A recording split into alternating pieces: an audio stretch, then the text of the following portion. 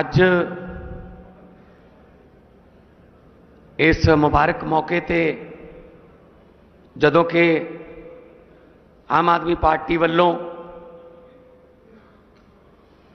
ਪੰਜਾਬ ਦੇ ਵਿੱਚ ਲੋਕਤਾਂਤਰਿਕ ਤਰੀਕੇ ਨਾਲ ਲੋਕਾਂ ਤੋਂ ਲੋਕ ਸਭਾ ਲਈ ਸ਼ਕਤੀ ਦੀ ਮੰਗ ਕਰਨੀ ਹੈ ਤਾਂ ਕਿ ਪੰਜਾਬ ਨੂੰ ਖੁਸ਼ਹਾਲ ਬਣਾਇਆ ਜਾ ਸਕੇ, ਪੰਜਾਬ ਦੀ ਸ਼ਾਨ ਵਧਾਈ ਜਾ ਸਕੇ। ਅੱਜ ਆਫੀਸ਼ੀਅਲ ਰਸਮੀ ਤੌਰ ਤੇ ਅੱਜ ਜਿਹਨੂੰ ਪੰਜਾਬੀ ਚ ਕਹਿੰਦੇ ਆ ਕਿ ਸਾਡੇ ਪ੍ਰਚਾਰ ਦੀ ਕੁੰਡ ਚੁਕਾਈ ਹੈ। ਆਫੀਸ਼ੀਅਲ ਸ਼ੁਰੂਆਤ ਹੈ। ਵੈਸੇ ਤਾਂ 16 ਮਾਰਚ ਤੋਂ ਬਾਅਦ, ਸਰਕਾਰ ਬਣਨ ਤੋਂ ਬਾਅਦ ਕੋਈ ਵੀ ਦਿਨ ਇਹੋ ਜਿਹਾ ਨਹੀਂ ਜਦੋਂ ਅਸੀਂ ਲੋਕਾਂ ਕੋਲੇ ਨਾ ਗਏ ਹੋਈਏ, ਪਰ ਉਦੋਂ ਕੰਮ ਕਰਨ ਲਈ, ਸੁਝਾਅ ਸੁਣਨ ਲਈ, ਸਮੱਸਿਆਵਾਂ ਹੱਲ ਕਰਨ ਲਈ ਜਾਈਦਾ ਅੱਜ ਵੀ ਜਾ ਰਹੇ ਹਾਂ ਮੇਰੇ ਮੰਤਰੀ ਸਹਿਬਾਨ ਐਮਐਲਏ ਸਹਿਬਾਨ, ਸਾਡੇ ਚੇਅਰਮੈਨ, ਸਾਡੇ ਵਲੰਟੀਅਰ, ਇਸ ਕੰਮ ਲਈ ਦੇਸ਼ ਦੇ ਵਿੱਚ ਮੈਂ ਕਹਿੰਦਾ ਨੰਬਰ 1 ਹੋਣਗੇ ਕਿ ਉਹ ਪਬਲਿਕ ਦੇ ਜਿਹੜੇ ਛੋਟੇ ਛੋਟੇ ਵੀ ਮਸਲੇ ਨੇ, ਉਹਨਾਂ ਨੂੰ ਗਾਹਾਂ ਤੱਕ ਪਹੁੰਚਾਉਂਦੇ ਆ ਤੇ ਉਹਨਾਂ ਦੀ ਜਿਹੜੀ ਹੈ ਹੱਲ ਕੀਤਾ ਜਾਂਦਾ, ਸਮਾਧਾਨ ਕੀਤਾ ਜਾਂਦਾ। ਸੋ ਅੱਜ ਦੇ ਇਸ ਮੁਬਾਰਕ ਮੌਕੇ ਤੇ ਸਭ ਤੋਂ ਪਹਿਲਾਂ ਤਾਂ ਮੈਂ ਸਾਡੇ ਪਾਰਟੀ ਦੇ ਨੈਸ਼ਨਲ ਕਨਵੀਨਰ ਔਰ 10 ਸਾਲਾਂ 'ਚ ਹੀ ਪਾਰਟੀ ਨੂੰ ਨੈਸ਼ਨਲ ਪਾਰਟੀ ਬਣਾਉਣ ਵਾਲੇ ਜਿਨ੍ਹਾਂ ਦੀ ਸੋਚ ਨਾਲ ਅੱਜ ਪੂਰੇ ਦੇਸ਼ ਦੇ ਕਰੋੜਾਂ ਲੋਕ ਜੁੜ ਰਹੇ ਨੇ। ਇੱਕ ਕ੍ਰਾਂਤੀਕਾਰੀ ਨੇਤਾ ਜਿਨ੍ਹਾਂ ਨੇ ਵੱਡੀਆਂ ਵੱਡੀਆਂ ਪਾਰਟੀਆਂ ਨੂੰ ਆਪਣੇ ਏਜੰਡੇ ਰੀਸੈਟ ਕਰਨ ਤੇ ਮਜਬੂਰ ਕਰ ਦਿੱਤਾ ਹੈ। ਮੇਰੀ ਮੁਰਾਦ ਹੈ, ਜ਼ੋਰਦਾਰ ਤਾਲੀਆਂ ਦੇ ਵਿੱਚ ਸ਼੍ਰੀ ਅਰਵਿੰਦ ਕੇਜਰੀਵਾਲ ਜੀ ਸਾਹਿਬ। ਜਿਨ੍ਹਾਂ ਨੇ ਇੱਕ ਛੋਟਾ ਜਿਹਾ ਕਾਫਲਾ ਸ਼ੁਰੂ ਕੀਤਾ ਸੀ। ਰਾਮਲੀਲਾ ਗਰਾਊਂਡ ਤੋਂ ਅੱਜ ਉਹ ਕਾਫਲਾ ਇੱਕ ਬਹੁਤ ਵੱਡੀ ਮੁਹਿੰਮ ਦੇ ਰੂਪ ਦੇ ਵਿੱਚ ਦੇਸ਼ 'ਚ ਖੜਾ ਹੋ ਗਿਆ।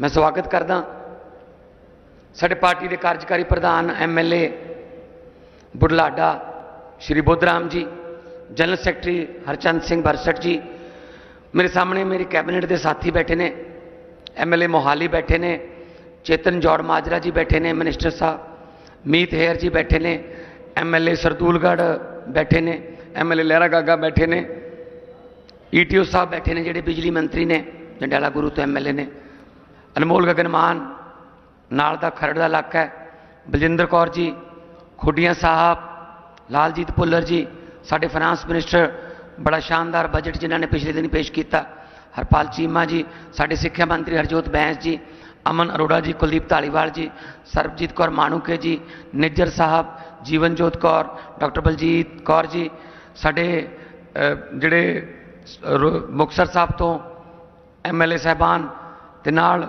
ਜਿੰਨੇ ਵੀ ਸਾਡੇ ਹੈਪੀ ਜੀ ਬੈਠੇ ਆ ਪਸੀ ਪਟਾਣਾ ਵਾਲੇ, ਚੰਨੀ ਸਾਹਿਬ ਬੈਠੇ ਆ, ਸੋਲ ਡਾਕਟਰ ਸੋਲ ਸਾਹਿਬ ਬੈਠੇ ਆ, ਸਾਰੀ ਸਾਡੀ ਐਮਐਲਏਜ਼ ਦੀ ਟੀਮ ਬੈਠੀ ਹੈ ਸਾਡੇ ਵਲੰਟੀਅਰ ਸਹਿਬਾਨ, ਰੀੜ ਦੀ ਹੱਡੀ ਜਿਹੜੇ ਆਪਣੇ ਪੱਲਿਓ ਤੇਲ ਪਵਾ ਕੇ ਸਾਡੇ ਕਾਫਲਿਆਂ ਦੇ ਮੂਹਰੇ ਗੱਡੀਆਂ ਤੇ ਮੋਟਰਸਾਈਕਲ ਲਾਉਂਦੇ ਆ, ਸਭ ਤੋਂ ਵੱਧ ਉਹਨਾਂ ਦਾ ਧੰਨਵਾਦ ਕਰਦਾ ਮੈਂ ਕਿ ਤੁਸੀਂ ਅੱਜ ਆਏ ਹੋ।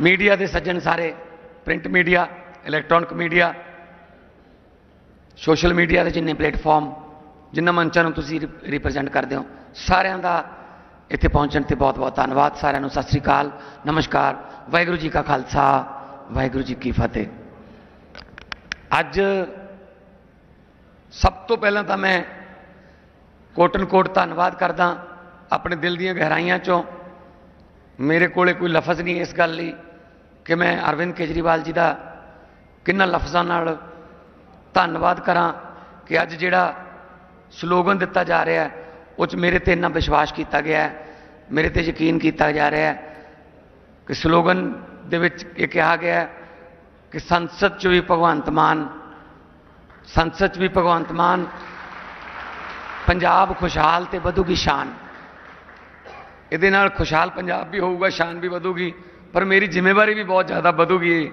ਇਸ ਸਲੋਗਨ ਨਾਲ ਸੋ ਮੈਂ ਤੁਹਾਡਾ ਬਹੁਤ-ਬਹੁਤ ਇਸ ਗੱਲੋਂ ਧੰਨਵਾਦ ਕਰਦਾ ਕਿ ਤੁਸੀਂ ਜਦੋਂ ਵੀ ਕੋਈ ਪੰਜਾਬ ਦੇ ਵਿੱਚ ਕੋਈ ਰੈਵੋਲੂਸ਼ਨ ਜਾਂ ਕੋਈ ਨਵਾਂ ਮੁਹਿੰਮ ਸ਼ੁਰੂ ਕਰਨੀ ਹੋਵੇ, ਤੁਸੀਂ ਸਾਨੂੰ ਇਹ ਜ਼ਿੰਮੇਵਾਰੀ ਦਿੰਦੇ ਹੋ ਤੇ ਮੈਂ ਆਪਣੀ ਸਾਰੀ ਟੀਮ ਵੱਲੋਂ ਇਹ ਤੁਹਾਨੂੰ ਵਿਸ਼ਵਾਸ ਦਿਵਾਉਣਾ, ਜੋ ਸਾਡੇ ਤੇ ਵਿਸ਼ਵਾਸ ਤੁਸੀਂ ਕੀ- ਕੀਤਾ ਜੋ ਯਕੀਨ ਤੁਸੀਂ ਕੀਤਾ, ਇਹਨੂੰ ਟੁੱਟਣ ਨਹੀਂ ਦੇਵਾਂਗੇ।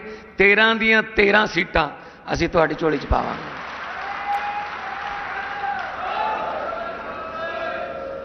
ਅਸੀਂ ਕੇਜਰੀਵਾਲ ਸਾਹਿਬ ਪੰਜਾਬ ਵਾਲੇ ਆ। ਜੇ ਸਾਡੇ ਤੋਂ ਕੋਈ ਅੱਗੇ ਲੰਘ ਜੇ ਸਾਨੂੰ ਥੋੜਾ ਜਿਹਾ ਇਹ ਸਮਝ ਲਓ ਵੀ ਲੂਰੀਆਂ ਜਿਹੀਆਂ ਉੱਠਦੀਆਂ ਸਾਡੇ ਵੀ ਅਸੀਂ ਨੰਬਰ 1 ਬਣਨਾ ਕਿਵੇਂ ਬਣੀਏ। ਸੋ ਪੰਜਾਬ 'ਚ 2014 ਜਦੋਂ ਤੁਸੀਂ ਬੂਟਾ ਲਾਇਆ ਸੀ, ਤਾਂ ਸਾਰੇ ਦੇਸ਼ 'ਚੋਂ ਚਾਰ ਹਰੇ ਰੰਗ ਦੇ ਪੱਤੇ ਇਸ ਆਮ ਆਦਮੀ ਪਾਰਟੀ ਦੇ ਦਰਖਤ ਤੇ ਚਾਰ ਹਰੇ ਰੰਗ ਦੇ ਪੱਤੇ ਪੰਜਾਬ ਨੇ। ਤੁਹਾਨੂੰ ਦਿੱਤੇ ਸੀਗੇ ਉਸ ਤੋਂ ਬਾਅਦ ਲੋਕ ਸਭਾ ਦੇ ਵਿੱਚ ਫਿਰ ਮੇਰੀ ਇਕਲੌਤੀ ਹਾਜ਼ਰੀ ਸੰਗਰੂਰ ਤੋਂ ਲਵਾਈ 22 ਦੇ ਵਿੱਚ 92 ਸੀਟਾਂ ਦੇ ਕੇ ਪੰਜਾਬ ਦੇ ਵਿੱਚ ਸਰਕਾਰ ਬਣਾਈ ਤੇ 7 ਰਾਜ ਸਭਾ ਦੇ ਮੈਂਬਰ ਪੰਜਾਬ ਤੋਂ ਇੱਥੋਂ ਰਿਪਰੈਜ਼ੈਂਟ ਕਰ ਰਹੇ ਨੇ ਸੋ ਇਸ ਵਾਰ ਵੀ ਅਸੀਂ 13 ਜ਼ੀਰੋ ਨਾਲ ਲੀਡ ਕਰਨਾ ਹੈ ਅੱਗੇ ਦਿੱਲੀ ਦੇ ਵਿੱਚ ਮੈਨੂੰ ਪਤਾ ਲੱਗਿਆ ਕਿ ਦਿੱਲੀ ਦੇ ਵਿੱਚ ਵੀ ਬਹੁਤ ਜ਼ਿਆਦਾ ਲੋਕਾਂ ਦੇ ਵਿੱਚ ਉਤਸ਼ਾਹ ਹੈ ਇਸ ਵਾਰ। ਦਿੱਲੀ 'ਚ ਵੀ ਜਿਹੜਾ ਉਹ ਲੋਕ ਸਭਾ 'ਚ ਬਹੁਤ ਸਾਰੇ ਸਾਡੇ ਜਰ- ਆਮ ਆਦਮੀ ਪਾਰਟੀ ਦੇ ਸਿਪਾਹੀ, ਆਮ ਆਦਮੀ ਪਾਰਟੀ ਦੇ ਜਰਨੈਲ, ਉਹ ਜਿੱਤ ਕੇ ਜਾਣਗੇ। ਅੱਜ ਇੱਥੇ ਆਉਣ ਦਾ ਮਕਸਦ ਇਹ ਹੈ ਕਿ ਅਸੀਂ 3.5 ਕਰੋੜ ਪੰਜਾਬੀਆਂ ਨੂੰ ਇਹ ਬੇਨਤੀ ਕਰਨੀ ਹੈ ਕਿ ਕਿਉਂ ਜ਼ਰੂਰੀ ਹੈ 13 ਜ਼ੀਰੋ ਪੰਜਾਬ ਦੇ ਵਿੱਚੋਂ ਸਕੋਰ ਕਰਨਾ ਕਿਉਂ ਜ਼ਰੂਰੀ ਹੈ ਦੋ ਤਿੰਨ ਕਾਰਨ ਨੇ ਉਹਦੇ ਅਸੀਂ ਇਹ ਚ ਬਰੋਸ਼ਰ 'ਚ ਲਿਖੇ ਵੀ ਹੋਏ ਨੇ ਕਿ ਜਿਹੜੀ ਸੈਂਟਰ ਸਰਕਾਰ ਹੈ ਬੀਜੇਪੀ ਸਰਕਾਰ ਹੈ ਇਹ ਪੰਜਾਬ ਨਾਲ ਨਫ਼ਰਤ ਕਰਦੀ ਹੈ ਇਹ ਨਹੀਂ ਚਾਹੁੰਦੇ ਕਿ ਪੰਜਾਬ ਲੀਡ ਕਰੇ ਪੰਜਾਬ ਰੰਗਲਾ ਪੰਜਾਬ ਬਣ ਜੇ ਪੰਜਾਬ ਫੇਰ ਹੱਸਦਾ ਖੇਡਦਾ ਪੰਜਾਬ ਬਣ ਜੇ ਕਿਉਂਕਿ ਬੀਜੇਪੀ ਪੰਜਾਬ ਚੋਂ ਕਦੇ ਨਹੀਂ ਜਿੱਤਦੀ। ਪਰ ਉਹ ਕਹਿੰਦੇ ਜੇ ਨਹੀਂ ਜਿੱਤਦੇ, ਪਰ ਮੈਨੂੰ ਕੰਮ ਖਰਾਬ ਕਰੋ। ਜਿਵੇਂ ਤੁਹਾਨੂੰ ਦਿੱਲੀ 'ਚ ਤੰਗ ਕਰ ਰਿਹਾ ਉਵੇਂ ਜਿਵੇਂ ਇੱਥੇ ਪੰਜਾਬ 'ਚ ਤੰਗ ਕਰ ਰਿਹਾ ਸਾਡੇ ਪੈਸੇ ਰੋਕ ਰੱਖਿਆ ਉਹ ਪੈਸੇ ਕੋਈ ਸੈਂਟਰ ਨੇ ਆਪ ਨਹੀਂ ਛਾਪੇ। ਉਹਨਾਂ ਕੋਲੇ ਆਪਣੀਆਂ ਮਸ਼ੀਨਾਂ 'ਚ ਨਹੀਂ ਛਾਪੇ। ਉਹ ਪੈਸੇ ਪੰਜਾਬੀਆਂ ਦੇ ਹੀ ਨੇ। ਪੈਟਰੋਲ, ਡੀਜ਼ਲ ਚੋਂ, ਜੀਐਸਟੀ ਚੋਂ, ਵੈਟ ਚੋਂ, ਹਰ ਕਿਸ ਕੇਂਦਰੀ ਸਕੀਮਾਂ ਚੋਂ ਇੱਥੋਂ ਟੈਕਸ ਜਾਂਦਾ ਉਹ ਟੈਕਸ ਦਾ ਪੈਸਾ ਫੈਡਰਲ ਗਵਰਨਮੈਂਟ ਨੇ ਵਾਪਸ ਕਰਨਾ ਹੁੰਦਾ ਪਰ ਇਹ ਸਾਡੇ ਨਾਲ ਸਲੂਕ ਜੋ ਕਰ ਰਹੇ ਨੇ 5.5000 ਕਰੋੜ ਤੱਕ ਕੱਲਾ ਆਰਡੀਐਫ ਦਾ ਰੋਕਿਆ ਹੋਇਆ ਜੀ। ਰੂਰਲ ਡਿਵੈਲਪਮੈਂਟ ਫੰਡ ਦਾ ਮੰਡੀਆਂ ਨੂੰ ਅਪਗ੍ਰੇਡ ਕਰਨਾ ਤੇ ਮੰਡੀਆਂ ਨੂੰ ਜਾਣ ਵਾਲੀਆਂ ਸੜਕਾਂ ਨੂੰ ਅਪਗ੍ਰੇਡ ਕਰਨਾ, ਉਹਦੇ ਵਾਸਤੇ ਪੈਸਾ ਹੈ। ਮੈਂ ਪੁੱਛਣਾ ਚਾਹੂੰਗਾ ਕੈਪਟਨ ਅਮਰਿੰਦਰ ਸਿੰਘ ਜੀ ਨੂੰ ਜਿਹੜੇ ਅੱਜ ਬੀਜੇਪੀ 'ਚ ਬੈਠੇ ਨੇ ਕਿ ਉਹਨਾਂ ਦੀ ਗਲਤੀ ਕਰਕੇ ਪੈਸਾ ਰੋਕਿਆ ਸੀ ਜਦੋਂ ਆਰਡੀਐਫ ਦਾ ਪੈਸਾ ਪਿਛਲੀ ਵਾਰ ਆਇਆ ਲਾਸਟ ਕਿਸ਼ਤ ਉਹਨਾਂ ਨੇ ਕਿਤੇ ਹੋਰ ਵਰਤ ਲਈ ਮੰਡੀਆਂ ਤੇ ਤੇ ਮੰਡੀਆਂ ਵਾਲੀਆਂ ਸੜਕਾਂ ਤੇ ਨਹੀਂ ਵਰਤੀ ਤਾਂ ਸੈਂਟਰ ਨੇ ਪੈਸਾ ਰੋਕਤਾ ਕਿ ਤੁਸੀਂ ਮਿਸਯੂਜ਼ ਕੀਤਾ ਹੈ। ਇਸ ਫੰਡ ਦਾ ਮੰਤਵ ਕੋਈ ਹੋਰ ਸੀ ਦਿੱਤਾ ਕਿਤੇ ਹੋਰ ਜਦੋਂ ਸਾਡੀ ਸਰਕਾਰ ਆਈ ਅਸੀਂ ਉਹਨਾਂ ਨਾਲ ਗੱਲ ਕੀਤੀ ਕਹਿੰਦੇ ਅਮੈਂਡਮੈਂਟ ਕਰੋ ਪਹਿਲਾਂ ਕਿ ਮੰਡੀਆਂ ਤੇ ਮੰਡੀਆਂ ਦੀਆਂ ਸੜਕਾਂ ਲਈ ਹੀ ਵਰਤਿਆ ਜਾਊਗਾ। ਅਸੀਂ ਇੱਕ ਮਿੰਟ ਨਹੀਂ ਲਾਇਆ। ਕੈਬਨਿਟ ਦੇ ਵਿੱਚ ਲਿਆ ਕੇ, ਉਸ ਤੋਂ ਬਾਅਦ ਵਿਧਾਨ ਸਭਾ ਦੇ ਵਿੱਚ ਅਮੈਂਡ ਕਰਤਾ ਕਿ ਮੰਡੀਆਂ ਦਾ ਹੀ ਪੈਸਾ ਹੈ, ਮੰਡੀਆਂ ਤੇ ਲੱਗੂ, ਮੰਡੀਆਂ ਨੂੰ ਜਾਣ ਵਾਲੀਆਂ ਸੜਕਾਂ ਤੇ ਲੱਗੂ। ਉਸ ਤੋਂ ਬਾਅਦ ਵੀ ਉਹ ਕਹਿੰਦੇ ਹੁਣ ਤੁਸੀਂ ਮੰਡੀ ਫੀਸ ਘਟਾਓ ਤੁਹਾਡੀ। 3 3% ਹੈ, ਇਹਨੂੰ ਅਸੀਂ ਜ਼ੀਰੋ ਕਰਾਂਗੇ। ਅਸੀਂ ਕਹਾਂ ਜੀ, ਅਸੀਂ ਪੂਰੇ ਦੇਸ਼ ਨੂੰ ਅਨਾਜ ਦਿੰਨੇ ਆ ਢਿੱਡ ਭਰਦੇ ਆ ਤੇ ਸਾਡਾ ਮੰਡੀ ਫੀਸ ਤਾਂ ਸਾਨੂੰ ਦਿਓਗੇ ਦਿਓਗੇ ਨਾ। ਨਾ ਜੀ ਕਹਿੰਦੇ ਅਸੀਂ ਯੂਪੀ ਬਿਹਾਰ ਵਾਂਗੂ ਕਰਾਂਗੇ। ਯੂਪੀ ਬਿਹਾਰ ਨਾਲ ਕਿਵੇਂ ਮੈਚ ਕੀਤਾ ਜਾ ਸਕਦਾ ਪੰਜਾਬ ਦੀਆਂ ਮੰਡੀਆਂ ਨੂੰ? ਉਸ ਤਾਂ ਮੰਡੀ 3-300 ਕਿਲੋਮੀਟਰ ਤੇ ਨੇ ਸਾਡੇ ਹਰ 4 ਕਿਲੋਮੀਟਰ ਦੇ ਰੇਡੀਅਸ 'ਚ ਮੰਡੀ ਹੈ। ਬਹੁਤ ਲੜਾਈ ਲੜੀ ਇਹਨਾਂ ਨਾਲ। ਕੈਪਟਨ ਸਾਹਿਬ ਤਾਂ ਆਪਣਾ ਕੰਮ ਕਰਕੇ ਬੀਜੇਪੀ ਚਲੇ ਗਏ। ਕਿਉਂਕਿ ਬੀਜੇਪੀ ਨਹੀਂ ਕਰਵਾਇਆ ਹੋਊ ਸ਼ਾਇਦ ਇਹ ਕੰਮ ਪਹਿਲਾਂ। ਕਿਉਂਕਿ ਉਹਨਾਂ ਨੂੰ ਕਿਹਾ ਹੀ ਜਾਂਦਾ ਸੀ ਕਿ ਉਹ ਉਹਨਾਂ ਦੇ ਮੁੱਖ ਮੰਤਰੀ ਨੇ। ਸੋ ਲੜਾਈ ਹੈ, ਮੈਂ ਲੜ ਰਿਹਾ। ਲੜਾਈ ਮੈਨੂੰ ਲੜਨੀ ਪੈ ਰਹੀ ਹੈ, ਬੀਜੇਪੀ ਨਾਲ, ਗਵਰਨਰ ਨਾਲ। ਸਾਰਿਆਂ ਨਾਲ ਲੜਾਈ ਮੈਨੂੰ ਲੜਨੀ ਪੈ ਰਹੀ ਹੈ, ਜਿਹੜੇ ਪੰਜਾਬ ਦੇ ਹੱਕ ਮਾਰਦੇ ਆ। ਇਸੇ ਤਰ੍ਹਾਂ ਐਨਐਚਐਮ ਦਾ ਪੈਸਾ, ਨੈਲ- ਨੈਸ਼ਨਲ ਹੈਲਥ ਮਿਸ਼ਨ ਦਾ ਪੈਸਾ, ਉਹ ਰੋਕੀ ਬੈਠਿਆ ਹੋਰ ਬਹੁਤ ਸਾਰੀਆਂ ਸਕੀਮਾਂ ਦਾ ਪੈਸਾ ਕਰਕੇ 8000 ਕਰੋੜ ਰੋਕੀ ਬੈਠੇ ਆ ਜੀ।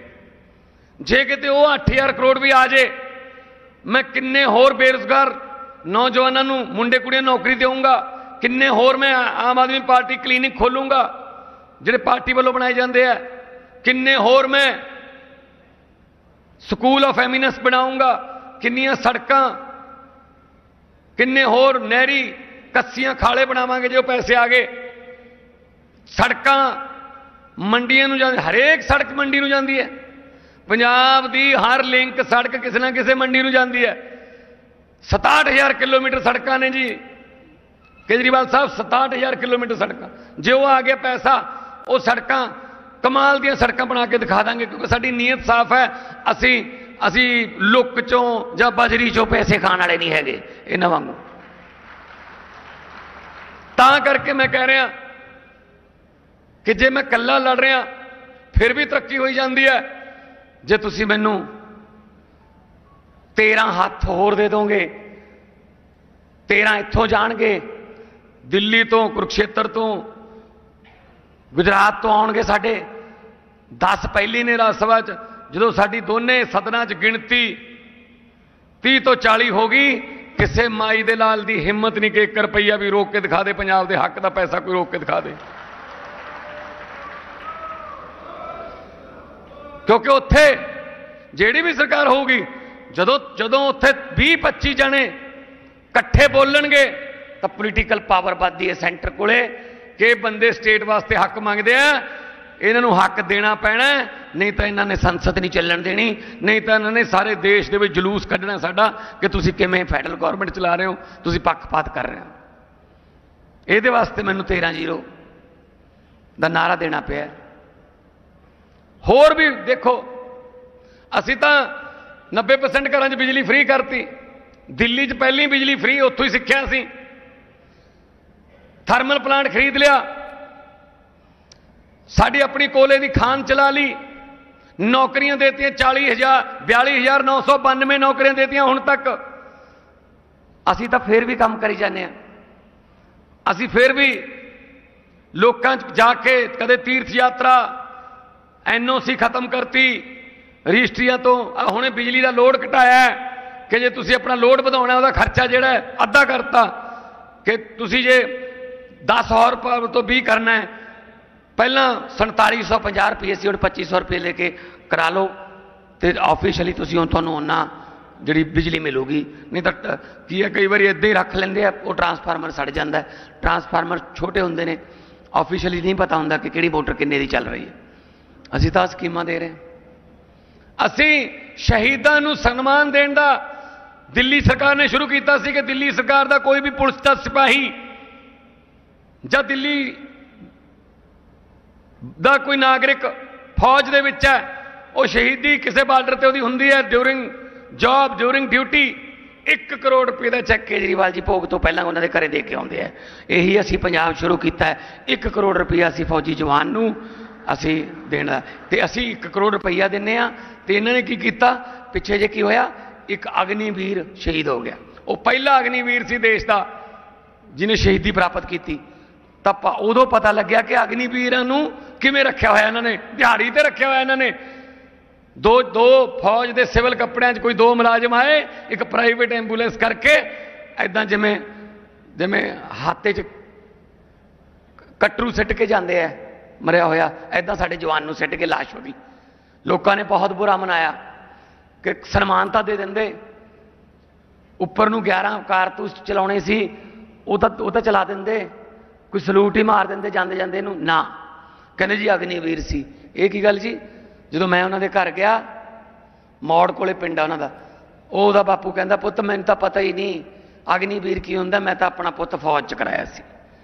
ਸਖਤ ਇਤਰਾਜ਼ ਪ੍ਰਗਟ ਕੀਤਾ ਸੀ 1 ਕਰੋੜ ਰੁਪਈਆ ਜੋ ਸ਼ਹੀਦਾਂ ਨੂੰ ਬਾਕੀਆਂ ਨੂੰ ਦਿੱਤਾ, ਉਹਨਾਂ ਨੂੰ ਦਿੱਤਾ। ਵਿਧਾਨ ਸਭਾ ਸ਼ਰਧਾਂਜਲੀ ਭੇਟ ਕੀਤੀ ਤੇ ਨਾਲੇ ਕਿਹਾ ਕਿ ਤੁਸੀਂ ਗਲਤ ਕਰ ਰਹੇ ਹੋ।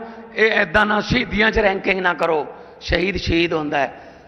ਫਿਰ ਜਦੋਂ ਰੌਲਾ ਪੈ ਗਿਆ, ਇੱਕ ਹੋਰ ਖੰਨੇ ਦੇ ਨੇੜੇ ਪਿੰਡ ਦਾ ਅਗਨੀਵੀਰ ਸ਼ਹੀਦ ਹੋਇਆ, ਉਸ ਦਿਨ ਫਿਰ ਉਹਨੂੰ ਸਲਾਮੀ ਦਿੱਤੀ ਉਹਨਾਂ ਨੇ, ਸੈਂਟਰ ਵਾਲਿਆਂ ਨੇ। ਇਹ ਹੱਕ ਮੰਗਿਆਂ ਤੋਂ ਨਹੀਂ ਮਿਲਣੇ, ਹੱਕ ਖੋਣੇ ਪੈਂਦੇ ਆ, ਖੋਣੇ ਪੈਂਦੇ ਆ ਹੱਕ। ਤੇ ਅਸੀਂ ਸ਼ਹੀਦਾਂ ਨੂੰ ਮਾਨ ਸਨਮਾਨ ਦੇ ਰਹੇ ਹਾਂ। ਤੇ ਇਹਨਾਂ ਨੇ ਕੀ ਕੀਤਾ? 26 ਜਨਵਰੀ ਨੂੰ ਪੰਜਾਬ ਦੀ ਝਾਕੀ ਕੱਟਤੀ। ਉਹ 'ਚ ਤਿੰਨ ਪਾਰਟ ਸੀਗੇ। ਪਹਿਲੀ ਸੀ ਸ਼ਹੀਦ ਆਜ਼ਮ ਭਗਤ ਸਿੰਘ ਸ਼ਹੀਦ ਉਦਮ ਸਿੰਘ, ਕਰਤਾਰ ਸਿੰਘ ਸਰਾਭਾ, ਲਾਲਾ ਲਾਜਪਤ ਰਾਏ, ਜਲਿਆਂਵਾਲੇ ਬਾਗ ਦਾ ਸਾਕਾ, ਕੂਕਾ ਲਹਿਰ, ਗਦਰ ਲਹਿਰ, ਜੋ ਪੰਜਾਬ ਨੇ ਲੀਡ ਕੀਤਾ ਆਜ਼ਾਦੀ ਵੇਲੇ, ਉਹ ਸਾਰੀ ਝਾਕੀ ਉਹਦੇ ਵਿੱਚ ਸੀ।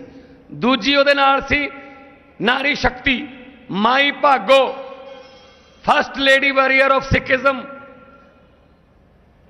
ਆ ਮਾਈ ਭਾਗੋ ਕਾਲਜ ਹੈ ਨਾਲ ਹੀ, ਜਿੱਥੇ ਕੁੜੀਆਂ ਨੂੰ ਫੌਜ 'ਚ ਭਰਤੀ ਕਰਨ ਦੀ ਟ੍ਰੇਨਿੰਗ ਦਿੱਤੀ ਜਾਂਦੀ ਹੈ, ਉਹ ਕੁੜੀਆਂ ਦਾ ਵੀ ਨਾਲ ਦਿਖਾਇਆ ਸੀਗਾ ਕਿ ਸਾਡੇ ਇੱਥੇ ਮਾਈ ਭਾਗੋ ਕਾਲਜ ਹੈ ਕੁੜੀਆਂ ਐਕਸਰਸਾਈਜ਼ ਕਰ ਰਹੀਆਂ ਸੀ ਪ੍ਰੈਕਟਿਸ ਕਰ ਰਹੀਆਂ ਸੀ ਉਹ ਸੀ ਤੇ ਤੀਜਾ ਸੀ ਪੰਜਾਬ ਦਾ ਕਲਚਰ ਫੁਲਕਾਰੀ ਸਰੋਂ ਦਾ ਸਾਗ ਲੰਗਰ ਦੀ ਪ੍ਰਥਾ ਸਾਡੀਆਂ ਹਵੇਲੀਆਂ ਸਾਡੀਆਂ ਪੱਖੀਆਂ ਸਾਡਾ ਕਲਚਰ ਰਿਜੈਕਟ ਕਰਤੀਆਂ ਜੀ ਬੜੀ ਹੈਰਾਨੀ ਹੋਈ ਅਸੀਂ ਉੱਥੇ ਪੁੱਛਿਆ ਜੀ ਪੰਜਾਬ ਦੀ ਝਾਕੀ ਕਿਉਂ ਰਿਜੈਕਟ ਕਰਤੀ ਕਹਿੰਦੇ नहीं जी ये ये इस बार नहीं आएगी इसका इसका थीम ठीक नहीं है ਮੈਂ ਕਿਹਾ ਹਾਊ ਡੇਅਰ ਯੂ ਆਰ ਇਹ ਦਲੇਰੀ ਤੁਹਾਡੀ?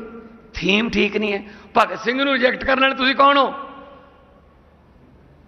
ਤੁਸੀਂ ਕਰਤਾਰ ਸਿੰਘ ਸਰਾਭੇ ਨੂੰ ਰਿਜੈਕਟ ਕਰਨ ਵਾਲੇ ਕੌਣ ਹੋ ਤੁਸੀਂ? ਲਾਲਾ ਲਾਜਪਤ ਰਾਏ ਨੂੰ ਰਿਜੈਕਟ ਕਰਨ ਵਾਲੇ ਤੁਸੀਂ ਕੌਣ ਹੋ? ਸਾਡੇ ਖੂਨੀ ਸਾਕਿਆਂ ਨੂੰ ਰਿਜੈਕਟ ਕਰਨ ਵਾਲੇ ਤੁਸੀਂ ਕੌਣ ਹੋ? ਮੈਂ ਕਿਹਾ, ਹੁਣ ਤਾਂ ਇੱਕ ਕੀਤੀ ਹੈ ਨਾ ਕੈਨਸਲ ਮੈਂ ਨੌ ਬਣਵਾ ਲਈਆਂ ਜੀ ਹੁਣ। ਪੂਰੀਆਂ ਨੌ ਚੱਲ ਰਹੀਆਂ, ਪੂਰੇ ਪੰਜਾਬ 'ਚ ਪਿੰਡਾਂ 'ਚ ਜਾ ਰਹੀਆਂ। ਪਿੰਡਾਂ 'ਚ ਆ ਕੇ ਦਿਖਾਉਂਗਾ ਕਿ ਇਹ 'ਚ- ਗਲਤੀ ਕੱਢ ਕੇ ਦਿਖਾਇਓ ਜੀ ਕੋਈ। ਕਿ ਇਹ ਰਿਜੈਕਟ ਕਰਦੇ ਨੇ। ਇਹ ਕੌਣ ਨੇ ਜੀ? ਭਗਤ ਸਿੰਘ ਹੋਰਾਂ ਨੂੰ ਮੋਹਰ ਲਾਉਣ ਵਾਲੇ ਕਿ ਇਹ ਝਾਕੀ 'ਚ ਹੋਣੇ ਚਾਹੀਦੇ ਨੇ ਜਾਂ ਨਹੀਂ ਹੋਣੇ ਚਾਹੀਦੇ? ਇਹ ਪੰਜਾਬ ਨਾਲ ਨਫ਼ਰਤ ਹੈ। ਮੈਂ ਤਾਂ ਇਹ ਵੀ ਕਹਿਣਾ, ਇੰਨੀ ਨਫ਼ਰਤ ਕਰਦੇ ਆ। ਜੇ ਕਿਤੇ ਇਹਨਾਂ ਦਾ ਬਸ ਚੱਲੇ, ਇਹ ਜਨਗਣ ਮਨ ਚੋਂ ਵੀ ਪੰਜਾਬ ਦਾ ਨਾਮ ਕੱਢ ਦੇਣਗੇ। ਰਾਸ਼ਟਰੀ ਗੀਤ ਚੋਂ। ਆਉਂਦਾ ਨਾ, ਪੰਜਾਬ, ਸਿੰਧ, ਗੁਜਰਾਤ, ਮਰਾਠਾ। ਉੱਥੇ ਇਹਨਾਂ ਨੇ ਯੂਪੀ ਸਿੰਧ, ਗੁਜਰਾਤ ਮਠਾਠਾ ਕਰ ਦੇਣਾ ਇਹਨਾਂ ਨੇ। ਜਾਂ ਗੁਜਰ ਇਹਨਾਂ ਦਾ ਕੋਈ ਪਤਾ ਨਹੀਂ ਕੀ ਕਰ ਦੇਣਾ। ਇੰਨੀ ਨਫ਼ਰਤ ਕਰਦੇ ਆ ਇਸ ਕਰਕੇ ਪੰਜਾਬ ਦੀ ਸ਼ਾਨ ਬਰਕਰਾਰ ਰੱਖਣ ਵਾਸਤੇ, ਪੰਜਾਬ ਦੀ ਸ਼ਾਨ ਨੂੰ ਉੱਚੀ ਰੱਖਣ ਵਾਸਤੇ ਸਾਨੂੰ ਤੁਹਾਡੇ ਸਹਿਯੋਗ ਦੀ ਲੋੜ ਹੈ। ਤੇ 13 ਜ਼ੀਰੋ ਹੋਊਗਾ ਮਜਾਲ ਹੈ ਕਿਤੇ ਸਾਡੀ 15 ਅਗਸਤ ਜਾਂ 26 ਜਨਵਰੀ ਚੋਂ ਝਾਕੀ ਇੱਧਰ ਉੱਧਰ ਹੋ ਜੇ, ਬਲਕਿ ਸਭ ਤੋਂ ਪਹਿਲਾਂ ਪੰਜਾਬ ਵਾਲੀ ਆਇਆ ਕਰੂ, ਝਾਕੀਆਂ ਦੀ ਸ਼ੁਰੂਆਤ ਪੰਜਾਬ ਕਰਿਆ ਕਰੂਗਾ। ਇਹਨਾਂ ਨੇ ਮੈਨੂੰ ਕਿਹਾ। ਮੈਨੂੰ ਕਿਹਾ ਇਹਨਾਂ ਨੇ ਕਿ ਜੀ ਆ ਜ਼ਿਆਦਾ ਨਾ ਇਹਨੂੰ ਉਛਾਲੋ। ਅਗਲੀ 15 ਅਗਸਤ ਤੇ ਅਗਲੀ 26 ਜਨਵਰੀ, ਅਗਲੀ 15 ਅਗਸਤ, ਅਗਲੀ 26 ਜਨਵਰੀ 3 ਸਾਲ ਦਾ ਤੁਹਾਨੂੰ ਲਿਖ ਕੇ ਦੇ ਦਿੰਨੇ ਆ ਕਿ ਪੰਜਾਬ ਦੀ ਝਾਕੀ ਸਭ ਤੋਂ ਪਹਿਲਾਂ ਹੋਇਆ ਕਰੂ। ਮੈਂ ਕਿਹਾ, ਉਹ ਤਾਂ ਬਾਅਦ ਦੀ ਗੱਲ ਹੈ। ਪਹਿਲਾਂ ਇਹ ਦੱਸਿਓ 15 ਅਗਸਤ ਨੂੰ ਤੁਸੀਂ ਹੋਵੋਗੇ।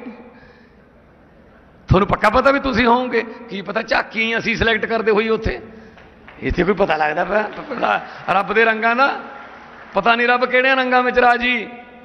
ਮੈਂ ਕਿਹਾ, ਹੰਕਾਰ ਨਾ ਕਰੋ, ਹੰਕਾਰ ਨਾ ਕਰੋ। ਸੋ ਹੰਕਾਰ ਦਾ ਸਿਰ ਨੀਵਾ ਹੁੰਦਾ ਹੈ। ਕੇਜਰੀਵਾਲ ਸਾਹਿਬ ਨੇ ਜਿੰਨੇ ਗੇੜੇ ਪੰਜਾਬ ਚ ਲਾਏ ਨੇ, ਸ਼ਾਇਦ ਦਿੱਲੀ 'ਚ ਘੱਟ, ਪੰਜਾਬ ਜ਼ਿਆਦਾ ਆਉਂਦੇ ਨੇ, ਜਦੋਂ ਵੀ ਬੁਲਾਈਏ ਅਸੀਂ, ਕਿ ਸਕੂਲ ਆਫ ਐਮੀਨੈਂਸ ਦਾ ਉਦਘਾਟਨ ਕਰਨਾ ਹੈ ਜੀ। ਆਮ ਆਦਮੀ ਕਲੀਨਿਕ ਤਿਆਰ ਨੇ ਜੀ। ਵਿਕਾਸ ਦੀ ਕ੍ਰਾਂਤੀ 800 ਕਰੋੜ ਰੁਪਏ ਦਾ ਹੁਸ਼ਿਆਰਪੁਰ ਦੇਣਾ ਹੈ ਜੀ। ਮੈਡੀਕਲ ਕਾਲਜਾਂ ਦੇ ਉਦਘਾਟਨ ਕਰਨੇ ਆ ਜੀ। ਇਹ ਉਹਦੀ ਇੱਕ ਮਿੰਟ 'ਚ ਕਹਿੰਦੇ ਨੇ, ਚਲੋ ਰੱਖੋ ਪੰਜਾਬ ਦਾ ਪ੍ਰੋਗਰਾਮ, ਕਿਉਂਕਿ ਇਹਨਾਂ ਨੂੰ ਵੀ ਪੰਜਾਬ ਨਾਲ ਪਿਆਰ ਹੈ ਕਿ ਪੰਜਾਬ ਨੇ ਆਮ ਆਦਮੀ ਪਾਰਟੀ ਦਾ ਜਿਹੜਾ ਬੂਟਾ ਹੈ, ਉਹਦੀਆਂ ਜੜਾਂ ਨੂੰ ਹੋਰ ਮਜ਼ਬੂਤ ਕੀਤਾ ਹੈ। ਤੇ ਹੁਣ ਜਦੋਂ 13 13 ਜਿਹੜੇ ਪੱਤੇ ਹੋਰ ਨਿਕਲੇ ਆਏ ਤਾਂ ਸਾਡਾ ਜਿਹੜਾ ਇਹ ਆਮ ਆਦਮੀ ਪਾਰਟੀ ਦਾ ਜਿਹੜਾ ਬੂਟਾ ਹੈ, ਇਹ ਹੋਰ ਸ਼ਾਨਦਾਰ ਹੋਊਗਾ। ਇਹ ਹੋਰ ਫਲਦਾਰ ਹੋਊਗਾ, ਕਿਉਂਕਿ ਇਮਾਨਦਾਰੀ ਤੇ ਪਾਰਦਰਸ਼ਤਾ ਦੀ ਸਰਕਾਰ ਹੈ। ਸੋ ਇਹਨਾਂ ਤੋਂ ਖਹਿੜਾ ਛਡਾਉਣਾ ਬੜਾ ਜ਼ਰੂਰੀ ਹੈ। ਤੁਹਾਡੇ ਸਾਹਮਣੇ ਪੱਤਰਕਾਰ ਸਾਹਿਬ ਬੈਠੇ ਨੇ। ਤੁਹਾਡੇ ਸਾਹਮਣੇ ਕਿਵੇਂ ਮੈਨੂੰ ਗਵਰਨਰ ਤੋਂ ਬਜਟ ਦੀ ਮਨਜ਼ੂ- ਮਨਜ਼ੂਰੀ ਲੈਣ ਵਾਸਤੇ ਬਜਟ ਸੈਸ਼ਨ ਦੀ ਸੁਪਰੀਮ ਕੋਰਟ ਜਾਣਾ ਪੈਂਦਾ ਹੈ। ਉੱਥੋਂ ਚੀਫ ਜਸਟਿਸ ਕਹਿੰਦਾ ਬਈ ਬਜਟ ਸੈਸ਼ਨ ਹੋਊਗਾ। ਤੁਸੀਂ ਰੋਕ ਨਹੀਂ ਸਕਦੇ। ਕਿਵੇਂ ਦੇਖ ਲਓ? ਤੇ ਕਿਵੇਂ ਸਾਨੂੰ ਹਰ ਗੱਲ ਵਾਸਤੇ ਰੋਕ ਲੈਂਦੇ ਨੇ ਸੈਂਟਰ ਚੋਂ, ਆ ਨਹੀਂ ਕਰ ਸਕਦੇ, ਆ ਨਹੀਂ ਕਰ ਸਕਦੇ। ਕਈ ਸਕੀਮਾਂ ਇਹੋ ਜਿਹੀਆਂ ਨੇ, ਸਰ ਜਿਹ 'ਚ ਸੈਂਟਰ ਦਾ ਪੈਸਾ ਹੈ, ਉਹ ਆਪਦਾ ਪੈਸਾ ਦਿੰਦੇ ਨਹੀਂ। ਫਿਰ ਅਸੀਂ ਕੀ ਕਰਦੇ ਕੋਈ ਗੱਲ ਨਹੀਂ, ਇਹ ਨਹੀਂ ਦਿੰਦੇ, ਨਾ ਦੇਣ। ਅਸੀਂ ਇਹਨਾਂ ਵਾਲਾ ਵੀ ਆਪਾਂ ਹੀ ਪਾ ਦਿੰਦੇ ਹਾਂ, ਕੋਈ ਗੱਲ ਨਹੀਂ। ਪੰਜਾਬ ਮੰਗਣ ਵਾਲਾ ਨਹੀਂ, ਪੰਜਾਬ ਦਾ ਹੱਥ ਐ ਨਹੀਂ, ਪੰਜਾਬ ਦਾ ਹੱਥ ਐ ਹੁੰਦਾ ਹੈ। ਪੰਜਾਬ ਦੇਣ ਵਾਲਾ ਹੈ, ਪੰਜਾਬ ਅੰਨਦਾਤਾ ਹੈ। ਅਸੀਂ ਆਪਦੇ ਪੰਜਾਬ ਨੂੰ ਸਿਰ ਤੇ, ਆਪਦੇ ਪੈਰਾਂ ਤੇ ਕਰਾਂਗੇ। ਆਪਦੇ ਪੈਰਾਂ ਸਿਰ ਕਰਾਂਗੇ ਅਸੀਂ ਆਪਣੇ ਬਜਟ ਨੂੰ ਬਿਨਾਂ ਤੋਂ ਮੰਗਣ ਦੀ ਲੋੜ ਨਾ ਪਵੇ। ਹਾਂ, ਭੀਖ ਨਹੀਂ ਮੰਗਦੇ, ਹੱਕ ਜ਼ਰੂਰ ਮੰਗਾਂਗੇ। ਹੱਕ ਮੰਗਣ 'ਚ ਅਸੀਂ ਪਿੱਛੇ ਨਹੀਂ ਰਹਿੰਦੇ। ਸੋ ਨੌਕਰੀਆਂ ਦਿੱਤੀਆਂ ਇੰਡਸਟਰੀ ਆ ਰਹੀ ਹੈ, ਔਰ ਇੰਡਸਟਰੀ ਉੱਥੇ ਹੀ ਆਉਂਦੀ ਹੈ ਜਿੱਥੇ ਲਾਅ ਐਂਡ ਆਰਡਰ ਠੀਕ ਹੋਵੇ। ਇੰਡਸਟਰੀ ਲਾਅ ਐਂਡ ਆਰਡਰ ਦਾ ਸਰਟੀਫਿਕੇਟ ਹੁੰਦੀ ਹੈ। ਟਾਟਾ ਸਟੀਲ ਵਰਗੀਆਂ ਪਾ- ਵੱਡੀਆਂ ਕੰਪਨੀਆਂ ਆ ਰਹੀਆਂ ਨੇ। ਉਹਨਾਂ ਨੇ ਸ਼- ਸ਼ੁਰੂ ਕਰਤੇ ਭੂਮੀ ਪੂਜਨ ਕਰਕੇ ਫੈਕਟਰੀਆਂ ਦਾ ਜਿਹੜਾ ਨਿਰਮਾਣ ਚੱਲ ਰਿਹਾ ਹੈ 2 ਲੱਖ 98 ਹਜ਼ਾਰ ਦੇ ਕਰੀਬ ਮੁੰਡੇ ਕੁੜੀਆਂ ਨੂੰ ਕੰਮ ਮਿਲੂਗਾ ਹੋਰ ਬਹੁਤ ਸਾਰੇ ਰੋਜ਼ ਇੰਡਸਟਰੀਲਿਸਟ ਆਉਂਦੇ ਨੇ ਕਿ ਕੰਮ ਕਰਨਾ ਪੰਜਾਬ 'ਚ ਪੰਜਾਬ 'ਚ ਮਾਹੌਲ ਬਣ ਗਿਆ ਰੰਗਲੇ ਪੰਜਾਬ ਦੇ ਰੰਗ ਹੌਲੀ ਹੌਲੀ ਨਜ਼ਰ ਆਉਣ ਲੱਗ ਗਏ ਉਹ ਜਿਹੜੇ ਕੱਸੀਆਂ ਖਾਲਾਂ 'ਚ 25 25 30 30 ਸਾਲ ਪਹਿਲਾਂ ਪਾਣੀ ਦੇਖਿਆ ਗਿਆ ਸੀ ਉਹਨਾਂ ਕੱਸੀਆਂ ਖਾਲਾਂ 'ਚ ਅੱਜ ਪਾਣੀ ਦੇਖਿਆ ਜਾ ਰਿਹਾ ਹੈ ਕਿ ਦੁਬਾਰੇ ਪਾਣੀ ਆ ਗਿਆ ਜੀ। ਦੁਬਾਰੇ ਸਾਡੀ ਨਹਿ ਜਿਹੜਾ ਕੱਸੀ ਸੂਏ 'ਚ ਪਾਣੀ ਆ ਗਿਆ ਜੀ, ਨਹਿਰੀ ਪਾਣੀ ਆ ਗਿਆ ਜੀ। ਉਹਦੇ ਨਾਲ ਬਿਜਲੀ ਵੀ ਬਚੂਗੀ, ਥੱਲੇ ਧਰਤੀ ਦਾ ਪਾਣੀ ਵੀ ਬਚੂਗਾ। ਤੇ ਫਸਲ ਵੀ ਬੰਪਰ ਹੋਊਗੀ ਕਿਉਂਕਿ ਮਿਨਰਲਸ ਹੁੰਦੇ ਨੇ ਉਸ ਪਾਣੀ ਦੇ ਵਿੱਚ, ਜਿਹੜਾ ਨਹਿਰੀ ਪਾਣੀ ਹੁੰਦਾ। ਸੋ ਅਸੀਂ ਪੋਜ਼ਿਟਿਵ ਰਾਜਨੀਤੀ ਕਰ ਰਹੇ ਹਾਂ। ਤੇ ਇਹ ਸਾਰਾ ਦਿਨ ਗਾਲਾਂ ਕੱਢਣ ਵਾਲੇ ਨੇ ਬਸ। ਹੁਣ ਮੈਨੂੰ ਤਾਂ ਇਹ ਵੀ ਨਹੀਂ ਪਤਾ ਲੱਗਦਾ ਕੌਣ ਕਿਹੜੇ ਪਾਸਿਓਂ ਬੋਲ ਰਿਹਾ ਹੈ। ਕਈ ਵਾਰੀ ਮੈਂ ਜਾਖੜ ਦੀ ਪ੍ਰੈਸ ਕਾਨਫਰੰਸ ਨੂੰ ਕਾਂਗਰਸੀ ਸਮਝ ਜਾਂਦਾ। ਕਈ ਵਾਰੀ ਅਕਾਲੀਆਂ ਵਾਲੀ ਕਾਨਫਰੰਸ ਨੂੰ ਕਿਸੇ ਹੋਰ ਪਾਰਟੀ ਪੱਕੀ ਪਤਾ ਕੌਣ ਕਿੱਧਰ ਨੂੰ ਗਿਆ। ਆ ਹੁਣ ਕੱਲ ਪਰਸੋਂ ਕਹਿੰਦੇ ਢੀਂਡਸੇ ਦੀ ਘਰ ਵਾਪਸੀ ਹੋਈ ਹੈ। ਮੈਂ ਕਿਹਾ, ਕਿਹੜੇ ਘਰ ਵਾਪਸੀ ਹੋਈ ਹੈ? ਕਹਿੰਦੇ ਜੀ, ਅਕਾਲੀ ਦਲ ਵਾਲੇ ਘਰ ਚ ਵਾਪਸੀ ਹੋਈ ਹੈ। ਮੈਂ ਕਿਹਾ, ਉਹਨਾਂ ਘਰਾਂ 'ਚ ਤਾਂ ਨਹੀਂ ਵਾਪਸੀ ਹੋਈ ਨਾ, ਜਿਨ੍ਹਾਂ 'ਚੋਂ ਲੋਕਾਂ ਨੇ ਕੱਢੇ ਨੇ। ਉਹਨਾਂ ਘਰਾਂ 'ਚ ਨਹੀਂ ਵਾਪਸੀ ਹੋ ਸਕਦੀ, ਜਿਨ੍ਹਾਂ 'ਚੋਂ ਲੋਕਾਂ ਨੇ ਕੱਢੇ ਨੇ। ਆਪਸ 'ਚ ਹੀ ਵਾਪਸੀਆਂ ਕਰ ਲੈਂਦੇ ਆ। 6 ਮਹੀਨੇ ਇੱਧਰ ਨੂੰ ਹੋ ਜਾਂਦੇ, ਬਾਅਦ 'ਚ ਕਹਿੰਦੇ ਘਰ ਵਾਪਸੀ ਹੋ ਗਈ ਕਰੀ ਜਾਓ। ਚਾਹੇ ਘਰੇ ਵਾਪਸ ਆਓ, ਚਾਹੇ ਭੂਆ ਦੇ ਘਰੇ ਵਾਪਸ ਆਓ, ਲੋਕਾਂ ਨੇ ਮੂੰਹ ਨਹੀਂ ਲਾਉਣਾ ਤੁਹਾਨੂੰ ਹੁਣ। ਬਹੁਤ ਹੋ ਗਿਆ ਹੁਣ। ਸੋ ਆਪਸ 'ਚ ਹੀ ਲੱਗੇ ਹੋਏ ਨੇ। ਹੁਣ ਇੱਧਰ, ਅੱਛਾ, ਪੰਥ ਬਚਾਉਣਾ ਹੈ ਜੀ ਹੁਣ। ਪਰਿਵਾਰ ਬਚਾਉਣਾ ਹੈ ਜੀ, ਪੰਜਾਬ ਬਚਾਉਣਾ ਹੈ ਜੀ, ਦੱਸੋ। ਕੱਲ ਉੱਥੇ ਸਵਰਗੀ ਪ੍ਰਕਾਸ਼ ਸਿੰਘ ਬਾਦਲ ਪ੍ਰਮਾਤਮਾ ਉਹਨਾਂ ਨੂੰ ਵੀ ਆਤਮਾ ਨੂੰ ਸ਼ਾਂਤੀ ਦੇਵੇ। ਸ਼ਰਧਾਂਜਲੀ ਸਮਾਰੋਹ, ਉਹਨਾਂ ਦਾ ਸੀ ਦੋ ਤਿੰਨ ਨਾਮ ਮੇਰਾ ਲਈ ਗਏ ਨੇ ਉੱਥੇ। ਇੱਥੋਂ ਹੀ ਪਤਾ ਲੱਗਦਾ ਕਿ ਕਿੰਨੇ ਭਟਕੇ ਹੋਏ ਨੇ। ਸੁਪਨੇ 'ਚ ਵੀ ਆਈ ਜਾਂਦਾ ਹੈ ਕੇਜਰੀਵਾਲ ਸੁਪਨੇ 'ਚ ਹੀ ਆਈ ਜਾਂਦਾ ਹੈ ਵੀ ਕੀ ਹੋਈ ਜਾਂਦਾ ਸੋ ਅੱਜ ਫੇਰ ਸ਼ੁਰੂ ਕਰਤੀ ਪਰਿਵਾਰ ਆਪ ਕੀ ਉਹ ਪੰਜਾਬ ਬਚਾਓ ਜਾ- ਯਾਤਰਾ। ਮੈਨੂੰ ਸਮਝ ਨਹੀਂ ਆਉਂਦੀ ਬਚਾਉਣਾ ਕੀ ਤੋਂ ਹੈ, ਤੁਹਾਡੇ ਤੋਂ ਬਚਾਇਆ ਸੀ ਬੜੀ ਮੁਸ਼ਕਲ ਨਾਲ ਹੁਣ। ਸੋ ਇਸ ਕਰਕੇ ਇਹਨਾਂ ਨੇ ਕੁਰਸੀ ਬਚਾਓ ਯਾਤਰਾ ਇਹਨਾਂ ਦੀ ਇਹ ਪਰਿਵਾਰ ਬਚਾਓ ਯਾਤਰਾ ਇਹਨਾਂ ਦੀ ਹੋਰ ਇਹਨਾਂ ਦਾ ਕੋਈ ਲੈਣਾ ਦੇਣਾ ਨਹੀਂ ਕਿਸੇ ਨਾਲ। ਹੋਰ ਇਹਨਾਂ ਦਾ ਦੇਸ਼ ਨਾਲ ਕੋਈ ਲੈਣਾ ਦੇਣਾ ਨਹੀਂ ਇਹਨਾਂ ਦਾ ਪੰਜਾਬ ਨਾਲ ਕੋਈ ਲੈਣਾ ਦੇਣਾ ਨਹੀਂ। ਸਿਰਫ ਆਪਦਾ ਆਪਦਾ ਪਰਿਵਾਰ ਪੁੱਤ ਭਤੀਜੇ ਸਾਲੇ ਜੀਜੇ ਬਸ। ਸੋ ਅਸੀਂ ਇਸ ਬ੍ਰੋਸ਼ਰ ਦੇ ਵਿੱਚ ਆਪਦੀਆਂ ਪ੍ਰਾਪਤੀਆਂ ਲਿਖੀਆਂ ਨੇ, ਕਿਸ ਤਰ੍ਹਾਂ ਅਸੀਂ ਕੰਮ ਕੀਤੇ ਨੇ, ਤੇ ਨਾਲ ਦੂਜੇ ਪਾਸੇ ਉਹ ਵੀ ਲਿਖਿਆ ਕਿ ਕਿਹੜੇ ਕੰਮ ਇਹਨਾਂ ਨੇ ਰੋਕੇ ਨੇ, ਜੇ ਕਿਤੇ ਸਾਡੇ ਕੋਲੇ ਰਾਜਨੀਤਿਕ ਸ਼ਕਤੀ 13 ਲੋਕ ਸਭਾ ਵਾਲੀ ਹੋਵੇ, ਤਾਂ ਅਸੀਂ ਉਹ ਕੰਮ ਵੀ ਅਗਲੇ ਸਾਲ ਇਸੇ ਬ੍ਰੋਸ਼ਰ ਤੇ ਉਹਨਾਂ ਨੂੰ ਵੀ ਕੀਤੇ ਹੋਏ ਕੰਮਾਂ ਦੇ ਵਿੱਚ ਅਸੀਂ ਸ਼ਾਮਲ ਕਰ ਦਾਂਗੇ, ਕਿਉਂਕਿ ਸਾਡੇ ਕੋਲੇ ਜਦੋਂ ਇੰਨੀ ਸ਼ਕਤੀ ਹੋਈ ਕਿ ਅਸੀਂ ਹੱਕ ਮੰਗਦੇ ਹੋਈਏ ਲੋਕ ਸਭਾ ਚੋਂ। ਮੈਂ ਇਕੱਲਾ ਹੁੰਦਾ ਸੀ ਲੋਕ ਸਭਾ ਚ 19 ਚ, ਤੁਸੀਂ ਦੇਖਿਆ। ਮੈਂ ਬਹੁਤ ਸਾਰੇ ਮੰਤਰੀਆਂ ਤੋਂ ਕੰਮ ਕਰਾ ਕੇ ਲਿਆਉਂਦਾ ਸੀ। ਕਿਉਂਕਿ ਇਹ- ਜਤਾ, ਜਤਾਉਣ ਵਾਸਤੇ ਤਾਂ ਮੈਂ ਲੋਕਾਂ ਨੂੰ ਕਹਿ ਰਿਹਾ। ਤੁਸੀਂ 13 ਜਤਾ ਦਿਓ ਪਾਸਵਰਡ ਮੈਨੂੰ ਪਤਾ ਹੈ ਲੋਕ ਸਭਾ ਦੇ ਵੀ ਕਿਵੇਂ ਕੰਮ ਕਰਾਉਣੇ ਹੁੰਦੇ ਨੇ। ਉੱਥੇ ਜਿਹੜਾ ਬੋਲਦਾ ਹੁੰਦਾ ਜਿਆਦੇ, ਉਹਦੇ ਕੰਮ ਕਦੇ ਨਹੀਂ ਰੁਕਦੇ। ਮੈਂ ਹੁਣ ਬੋਲਦਾ ਰਹਿੰਦਾ ਸੀ ਪਾਰਲੀਮੈਂਟ 'ਚ, ਖੁੱਲ੍ਹ ਕੇ ਬੋਲਦਾ ਰਹਿੰਦਾ ਸੀ। ਤੇ ਮੈਂ ਕੋਈ ਕੰਮ ਕਰਾਉਣ ਜਾਂਦਾ ਕਿਸੇ ਮੰਤਰੀ ਕੋਲੇ ਤਾਂ ਬੀਜੇਪੀ ਵਾਲੇ ਬੈਠੇ ਹੁੰਦੇ ਸੀ ਉੱਥੇ ਕਿਉਂਕਿ ਮੰਤਰੀ ਬੀਜੇਪੀ ਦਾ ਹੁੰਦਾ ਸੀ ਉਹ ਪਰਾਂ ਕਰਦੇ ਸੀ ਬੀਜੇਪੀ ਵਾਲਿਆਂ ਨੂੰ पीछे हो जो पीछे हो जो मान साहब आप आ गया ये जी क्या काम है मैंने जी आ काम है आ काम करके मेरे कान च कहते सी लोकसभा में थोड़ा मेरा ख्याल रखिएगा हैं मैंने कहा कोई गल ही नहीं जी ਮੇਰਾ ਚੁੱਪ ਹੋ ਕੇ ਕੰਮ ਹੁੰਦਾ ਮੈਨੂੰ ਬੋਲਣ ਦੀ ਲੋੜ ਕੀ ਹੈ ਫਿਰ ਠੀਕ ਹੈ ਨਾ ਸੋ ਇਸ ਕਰਕੇ ਮੇਰੇ ਕੋਲੇ ਪਾਸਵਰਡ ਬਥੇਰੇ ਨੇ ਕਿ ਕੰਮ ਕਿਵੇਂ ਲੈਣਾ ਹੈ ਕਿਹੜੀ ਵੀ ਮਰਜ਼ੀ ਪਾਰਟੀ ਦੀ ਸਰਕਾਰ ਹੋਵੇ ਕੰਮ ਕਿਵੇਂ ਲੈਣਾ ਹੈ ਲੋਕ ਸਭਾ ਚੋਂ ਲੋਕ ਸਭਾ ਦਾ ਮੈਂਬਰ ਚਾਹੇ ਤਾਂ ਉਹ ਕੰਮ ਰੋਕ ਨਹੀਂ ਸਕਦਾ ਆਪਣੀ ਸਟੇਟ ਵਾਸਤੇ ਬਹੁਤ ਕੁਝ ਲੈ ਕੇ ਆ ਸਕਦਾ ਹੈ। ਸੋ ਆਹ ਬੇਨਤੀਆਂ ਕਰਨ ਵਾਸਤੇ ਆਇਆ ਮੈਂ ਫਿਰ ਇਹੀ ਗੱਲ ਕਰਦਾ ਕਿ ਕੇਜਰੀਵਾਲ ਸਾਹਿਬ ਨੇ ਪਹਿਲਾਂ ਅੱਜ ਤੋਂ ਲਗਭਗ 2 ਸਾਲ ਪਹਿਲਾਂ ਅੱਜ 11 ਮਾਰਚ ਹੈ ਕੱਲ ਦੇ ਦਿਨ ਰਿਜ਼ਲਟ ਆਏ ਸੀ ਕੱਲ ਦੇ ਦਿਨ 92 92 ਹੋ ਜੇ ਵਿਧਾਇਕ ਚੁਣੇ ਗਏ ਸੀ ਲੋਕਾਂ ਦੁਆਰਾ ਜਿਨ੍ਹਾਂ ਨੂੰ 67 77 ਹਜ਼ਾਰ ਤੇ ਜਿਨ੍ਹਾਂ ਨੇ ਬੜੇ ਬੜੇ ਕਿਲੇ ਢਾਹੇ ਸੀ ਕੱਲ ਦੇ ਦਿਨ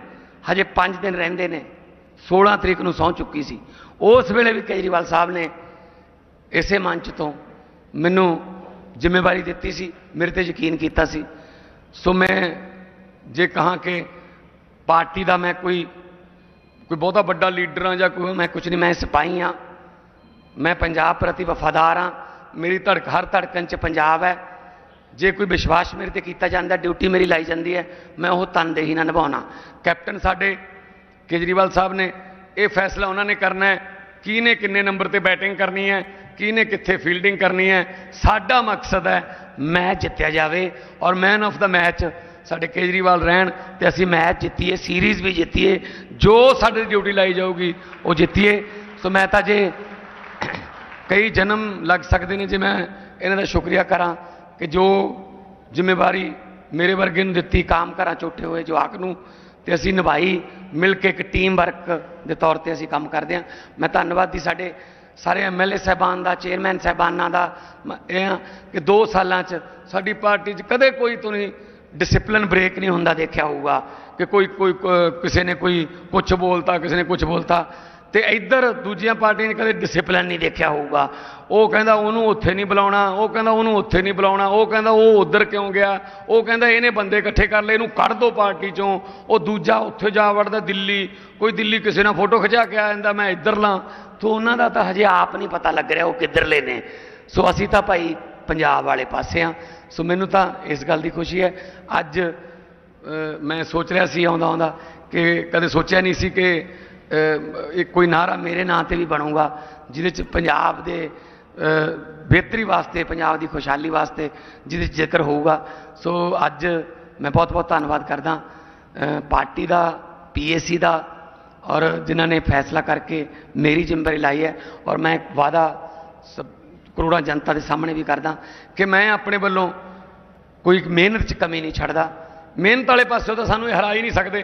ਸਾਡੇ ਤਾਂ ਜਦੋਂ ਰੋਡ ਸ਼ੋਅ ਕਰਨ ਲੱਗਦੇ ਆ 10 ਵਜੇ ਤੱਕ ਰਾਤ ਦੇ ਰਾਤ ਦੇ 10 ਵਜੇ ਤੱਕ ਸਪੀਕਰ ਅਲਾਉਡ ਹੁੰਦਾ 9:58 ਮਿੰਟ ਤੇ ਸਪੀਕਰ ਬੰਦ ਕਰਦੇ ਆ ਫੇਰ ਉਹ ਤੋਂ ਬਾਅਦ ਲੋਕਾਂ ਨੂੰ ਮਿਲਦੇ ਆ ਤੇ ਫੇਰ ਘ- ਫੇਰ ਘਰ ਜਾਂਦੇ ਆ ਜਾਂ ਜਿੱਥੇ ਵੀ ਰਹਿਣਾ ਹੁੰਦਾ ਹੈ, ਉਦੋਂ ਤੱਕ ਤਾਂ ਇਹ ਸੁੱਤੇ ਪਏ ਹੁੰਦੇ ਨੇ ਇਹਨਾਂ ਨੂੰ ਕੀ ਪਤਾ ਹੈ ਕਿ ਲੋਕਾਂ ਕੋਲੇ ਕਦੋਂ ਚਾਹੀਦਾ ਹੁੰਦਾ ਹੈ ਸੋ ਇਸ ਕਰਕੇ ਇਹ ਰਾਜੇ ਮਹਾਰਾਜੇ ਨੇ ਇਹਨਾਂ ਦੇ ਰਹਿਣ ਸਹਿਣ ਬਹੁਤ ਸ਼ਾਹੀ ਠਾਠਾਂ ਬਾਠਾਂ ਨੇ ਇਹਨਾਂ ਤੋਂ ਖੇੜਾ ਛਡਾਈਏ ਮਾਲੀ ਦਾ ਕੰਮ ਪਾਣੀ ਪਾਉਣਾ ਭਰ ਭਰ ਮਸ਼ਕਾਂ ਪਾਵੇ, ਮਾਲਕ ਦਾ ਕੰਮ ਫਲ ਫੁੱਲ ਲਾਉਣਾ, ਲਾਵੇ ਜਾਂ ਨਾ ਲਾਵੇ। ਲੋਕਤੰਤਰ 'ਚ ਮਾਲਕ ਲੋਕ ਨੇ ਤੇ ਉਮੀਦ ਹੈ ਕਿ ਲੋਕ ਮਾਲਕ ਬਣ ਕੇ ਸਾਡੇ ਇਸ ਮਿਹਨਤ ਨੂੰ ਫਲ ਫੁੱਲ ਜ਼ਰੂਰ ਲਾਉਣਗੇ। ਇੱਕ ਵਾਰੀ ਫੇਰ ਮੈਂ ਅਰਵਿੰਦ ਕੇਜਰੀਵਾਲ ਜੀ ਦਾ ਪੰਜਾਬ ਦੀ ਧਰਤੀ ਤੇ ਆਉਣ ਤੇ ਬਹੁਤ ਬਹੁਤ ਧੰਨਵਾਦ ਕਰਦਾ ਇਸ ਤੋਂ ਬਾਅਦ ਪਟਿਆਲੇ ਜਾਵਾਂਗੇ, ਵਪਾਰੀਆਂ ਨੂੰ ਮਿਲਾਂਗੇ। ਕੱਲ ਨੂੰ ਮੈਂ ਹੁਸ਼ਿਆਰਪੁਰ ਜਾਊਂਗਾ, ਮੋਗੇ ਜਾਊਂਗਾ, ਵਪਾਰੀਆਂ ਨਾਲ, ਛੋਟੇ ਦੁਕਾਨਦਾਰਾਂ ਨਾਲ ਮੀਟਿੰਗਾਂ ਕਰਾਂਗੇ, ਫਿਰ ਪਿੰਡਾਂ ਜਾਵਾਂਗੇ, ਜਿੱਥੇ ਡਿਊਟੀ ਲੱਗੂ ਜਾਵਾਂਗੇ। ਪਰ ਹਾਂ, ਵੋਟ ਆਪਦੇ ਪਰਿਵਾਰ ਵਾਸਤੇ ਨਹੀਂ ਮੰਗਾਂਗੇ, ਪੂਰੇ ਪੰਜਾਬ ਦੀ ਬਿਹਤਰੀ ਵਾਸਤੇ ਵੋਟ ਮੰਗਾਂਗੇ, ਕਿਉਂਕਿ ਪੈਸੇ ਕਮਾਉਣ ਵਾਲੇ ਕੰਮ ਤਾਂ ਅਸੀਂ ਛੱਡੀ ਫਿਰਦੇ ਹਾਂ। ਪੈਸੇ ਕਮਾਉਣ ਵਾਲੇ ਕੰਮ ਅਸੀਂ ਛੱਡੀ ਫਿਰਦੇ ਹਾਂ, ਅਸੀਂ ਤਾਂ ਪੰਜਾਬ ਕਮਾਉਣਾ ਹੈ। ਅਸੀਂ ਇੱਜ਼ਤ ਕਮਾਉਣੀ ਹੈ ਬਸ। ਪ੍ਰਮਾਤਮਾ ਅੱਗੇ ਹੀ ਅਰਦਾਸ ਕਰਦਾ ਹੁੰਨਾ, ਪ੍ਰਮਾਤਮਾ ਜਿੰਨੀ ਕਿ ਇੱਜ਼ਤ ਬਣਾਤੀ, ਭਾਵੇਂ ਤੋਂ ਵਧ- ਵਧਾਈ ਨਾ, ਪਰ ਇਦੂ ਘਟਣ ਨਾ ਦੇਈ, ਇੱਥੇ ਜੀ ਰੱਖ ਲਈ, ਸਮੱਤ ਬਖਸ਼ੀ। ਮੇਰੇ ਦਸਕਤ ਹੋਣ ਨਾਲ ਕਿਸੇ ਘਰ ਦਾ ਚੁੱਲ੍ਹਾ ਬਲੇ, ਕਿਸੇ ਦਾ ਦੀਵਾ ਬੁਝੇ ਨਾ, ਆਹੀ ਪ੍ਰਮਾਤਮਾ ਅੱਗੇ ਅਰਦਾਸ ਕਰਦੇ ਹਾਂ ਸੋ ਅਸੀਂ ਯਕੀਨ ਦਿਵਾਉਂਦੇ ਹਾਂ ਕੇਜਰੀਵਾਲ ਸਾਹਿਬ, ਕਿ 13 ਜ਼ੀਰੋ ਦਾ ਜਿਹੜਾ ਨਾਰਾ ਹੈ, ਕਿ ਦੇਸ਼ ਦੇ ਵਿੱਚ, ਦੇਸ਼ ਦੇ ਵਿੱਚ ਪੰਜਾਬ ਬਣੂਗਾ ਹੀਰੋ ਇਸ ਵਾਰ ਲੋਕ ਸਭਾ 'ਚ 13 ਜ਼ੀਰੋ। ਬਹੁਤ ਬਹੁਤ ਧੰਨਵਾਦ, ਬਹੁਤ ਬਹੁਤ ਮਿਹਰਬਾਨੀ।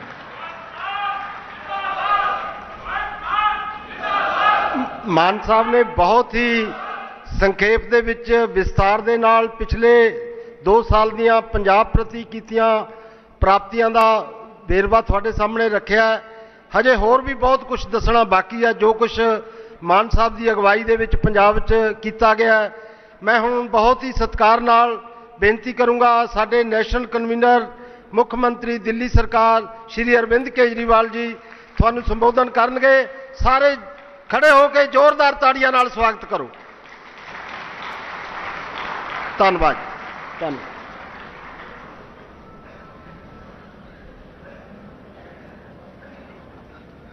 मंच पे बैठे मेरे छोटे भाई और पंजाब के बेहद लोकप्रिय मुख्यमंत्री सरदार भगवंत मान साहब,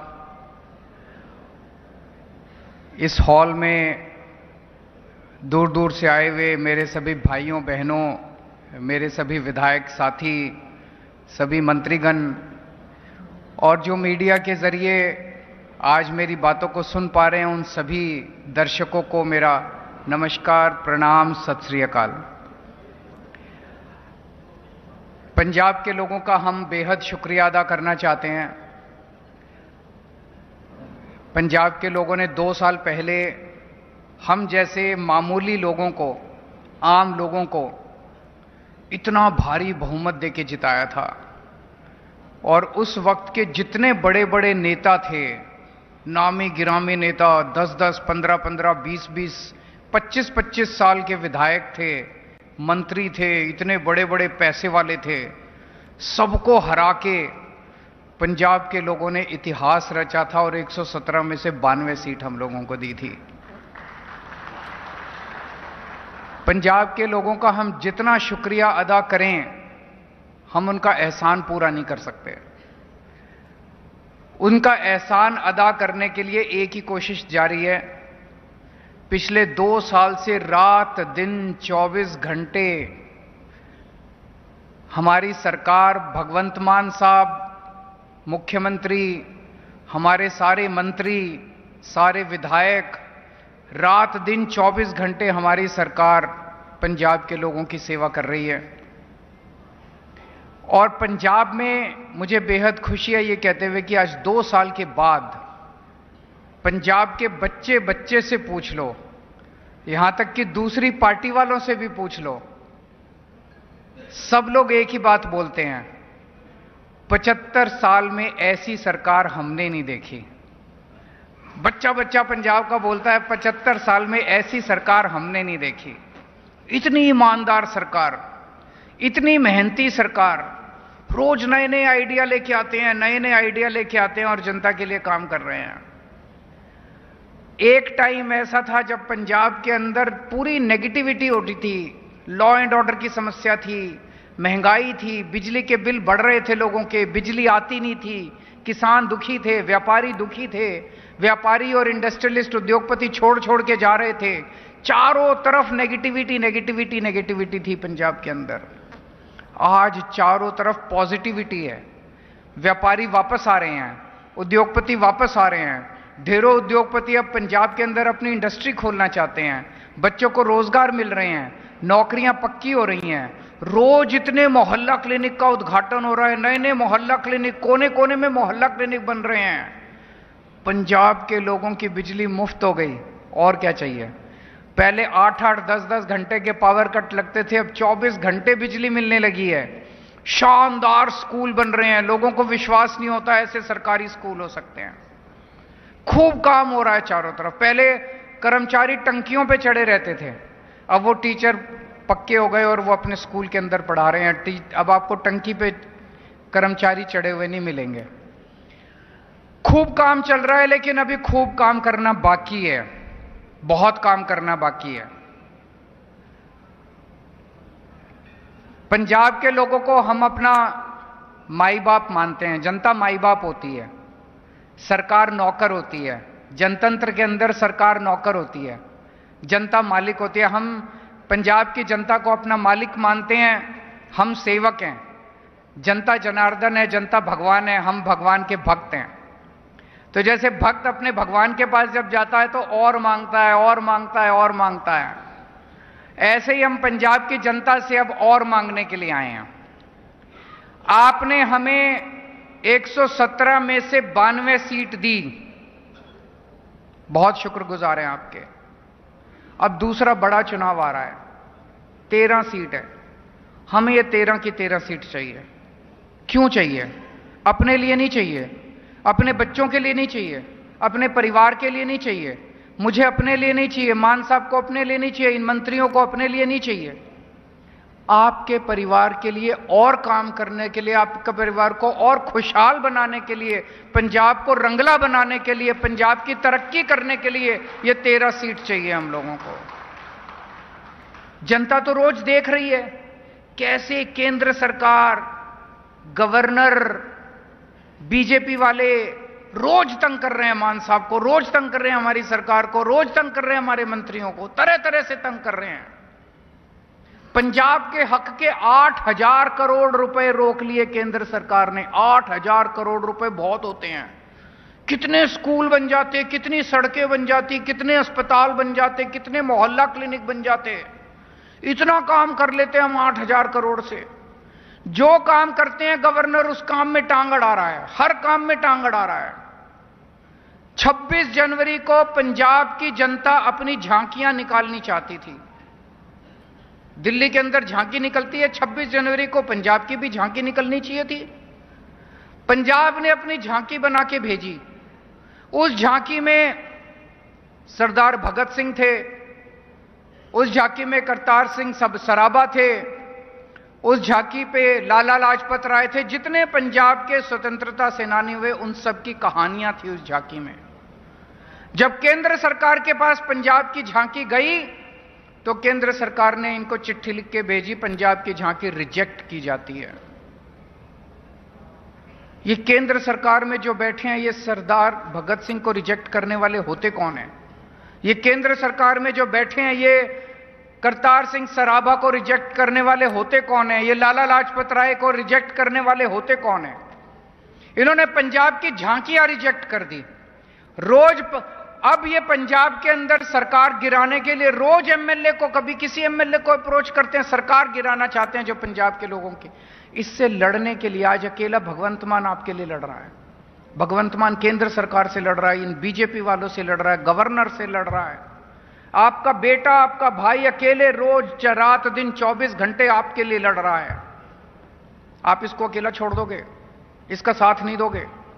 आज अगर आप तेरह ज़ीरो से इनको हरा दो, तेरह की तेरह सीटें इसको दे दो तो ये तेरह हाथ बनेंगे भगवंत मान के, ये तेरह हाथ बन के दिल्ली के अंदर जाके बीजेपी से लड़ेंगे और केंद्र सरकार से लड़ेंगे। तेरह एमपी लोकसभा के अंदर, संसद के अंदर उठ के आपकी आवाज़ उठाएँगे, पंजाब की आवाज़ उठाएँगे। मैं आपसे पूछना चाहता हूँ, आज भी तेरह सांसद पंजाब ने तेरह सांसद, तेरह एमपी भेजे हुए लोकसभा के अंदर। किसी की आवाज़ आती है? कोई सुनाई देता है? पता चलता है कि तेरह सांसद भेजे हुए उन पार्टियों के। क्या करते हैं वो? जब आपके आठ हज़ार करोड़ रोके केंद्र सरकार ने, वो तेरह सांसद कहाँ थे?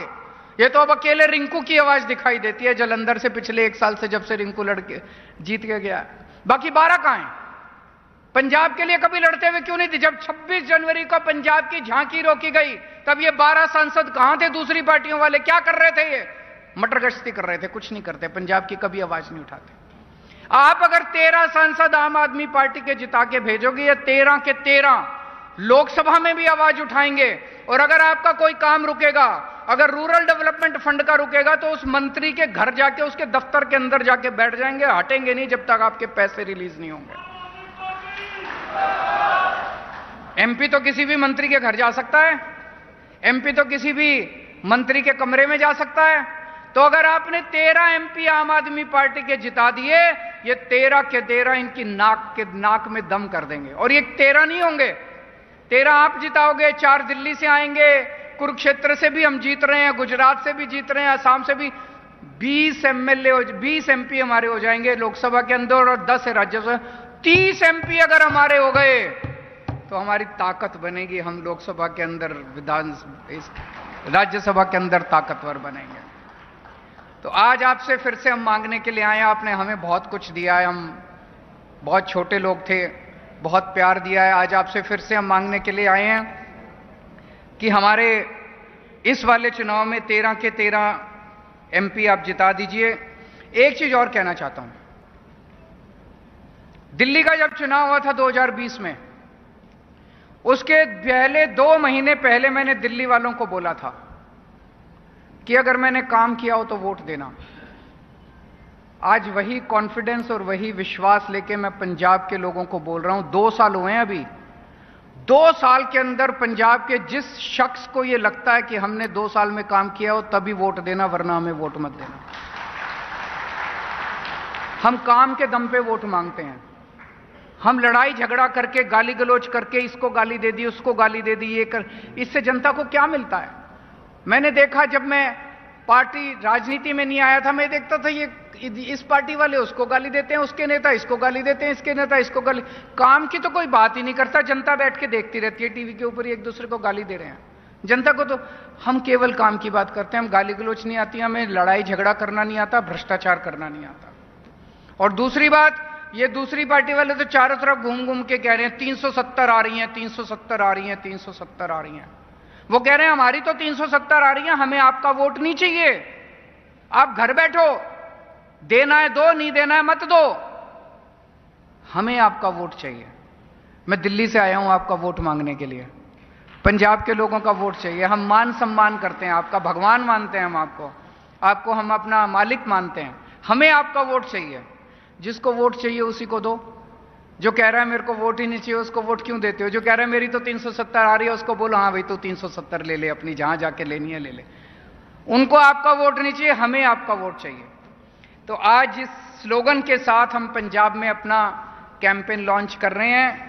संसद विच भी भगवंत मान, खुशहाल पंजाब से वधेगी शान। संसद विच भी भगवंत मान। खुशहाल पंजाब ते बधेगी शान। और दूसरा स्लोगन जो पहले से कई दिन से चला आ रहा है, पंजाब बनेगा हीरो, इस बार तेरा जी। बहुत बहुत शुक्रिया।